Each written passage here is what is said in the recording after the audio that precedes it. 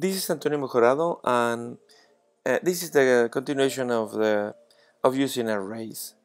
Now we will use arrays in functions. So we have this previous program where you clear the memory, get a value, and store values into an array. And then we display the array. Okay?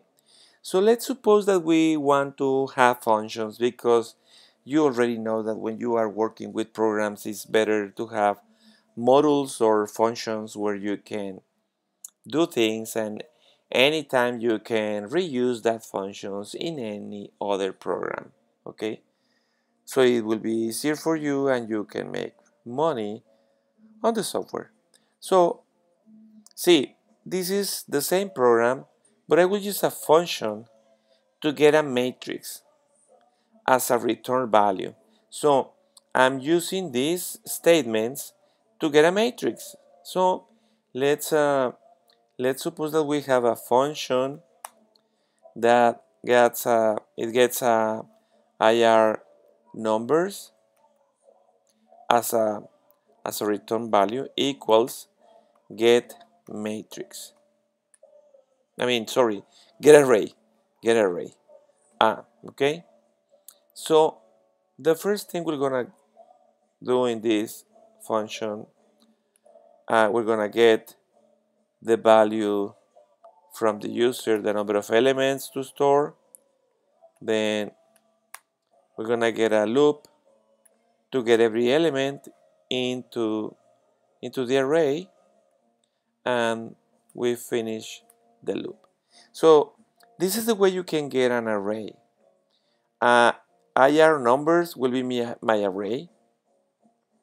So I'm asking the number of elements to get and then I'm using a loop to get every element in the array. So this is my main program. In my main program, I could use the same name for the array or I, I could use another name. So IR values, for example, equals get array. So get array will get the whole array.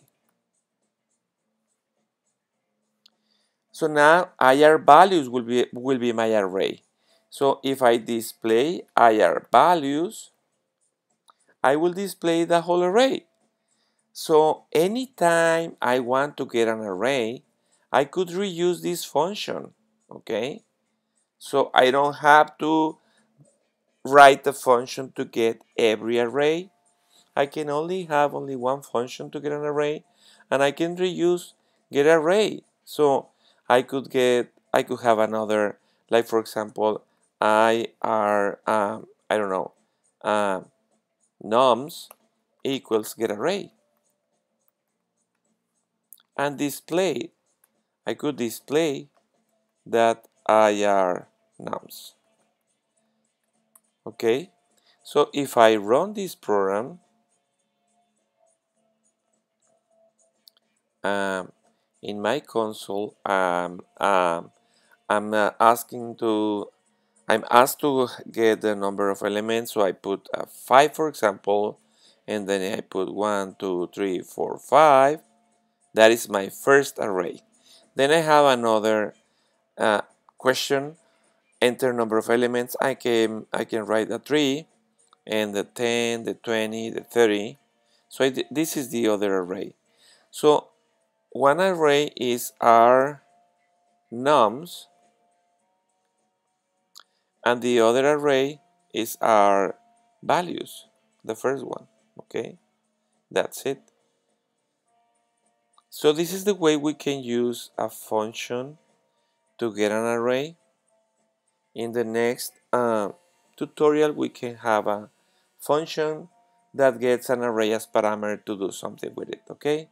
So I hope you have enjoyed this tutorial guys. See you in the next tutorial.